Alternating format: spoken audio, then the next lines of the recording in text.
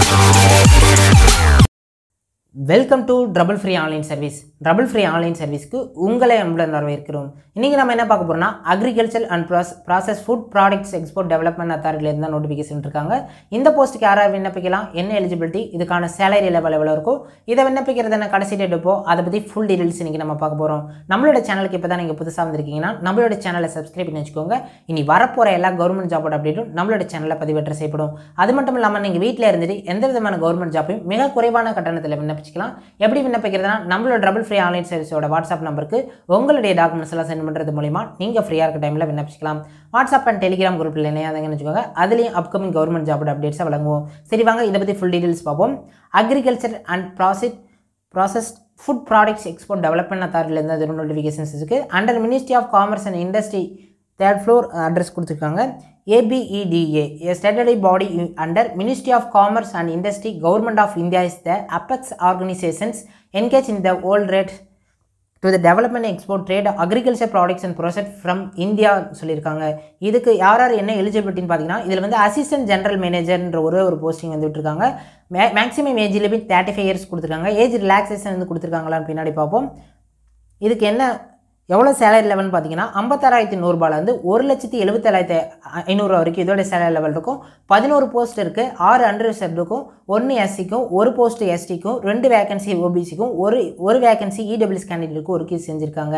இதுக்கான essential qualification என்னென்னு பார்த்தீங்கன்னா bachelor degree in agriculture horticulture veterinary food processing foreign trade planted plantations management degree முடிச்சிருவங்க. இந்த போஸ்ட்டுக்கு விண்ணப்பிக்கலாம்னு சொல்லியிருக்காங்க.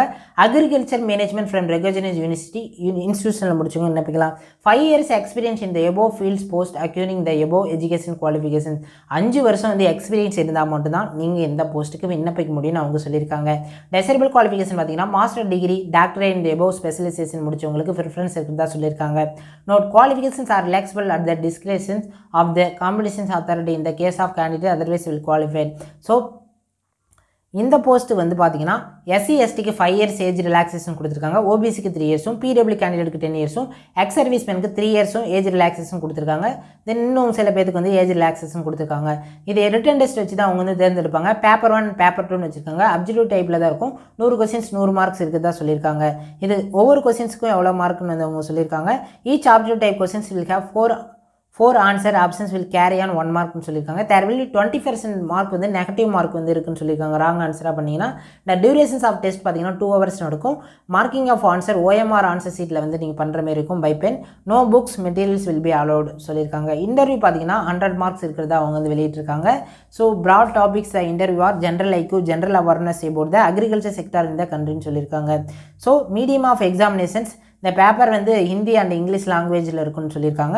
இந்த qualifying marks fifty percentage mark SC கேண்டிடேட்டுக்கும் எஸ்டிக்கும் அதர்ஸ்க்கு வந்து சிக்ஸ்டி பர்சன்டேஜ் மார்க் வந்து குவாலிஃபை மார்க்னு சொல்லியிருக்காங்க. இந்த ரிட்டன் டெஸ்ட் பார்த்தீங்கன்னா டெல்லியில் தான் நடக்கும். நீங்கள் எழுத தயாராக இருந்ததுன்னா தாராளமாக எழுதுங்க. டெல்லியில் தான் என்சிஆரில் நடக்கும்னு சொல்லியிருக்காங்க. இதை பற்றி இதோடைய லிங்க் வந்து கீழே டிஸ்கிரிப்ஷனில் கொடுக்குறோம். பார்த்து தெரிஞ்சுக்கோங்க. லாஸ்ட் டேட் பார்த்தீங்கன்னா இருபது மூணு ரெண்டாயிரத்தி இருபத்தி மூணு சொல்லியிருக்காங்க. அதுக்குள்ளே நீங்கள் வந்து நினச்சிக்கோங்க. இனி வரப்போகிற எல்லா கவர்மெண்ட் ஜாபோட அப்டேட்டும் நம்மளோட சேனலில் பதிவேற்ற செய்யப்படும். சப்ஸ்கிரைப் பண்ணாதவங்க சப்ஸ்கிரைப் பண்ணி வச்சுக்கோங்க. பெல் பட்டனில் ஆல்ன்றது கிளிக் பண்ணி வச்சுக்கோங்க. அப்போ தான் நாங்கள் போடுற கவர்மெண்ட் ஜாபோட அப்டேட்ஸை உங்களுக்கு வந்து நோட்டிஃபிகேஷன்ஸாக வந்து சேரும். வாட்ஸ்அப் அண்ட் டெலிகிராம் குரூப்பில் இணையாதாங்க நினச்சிக்கோங்க நன்றி வணக்கம்.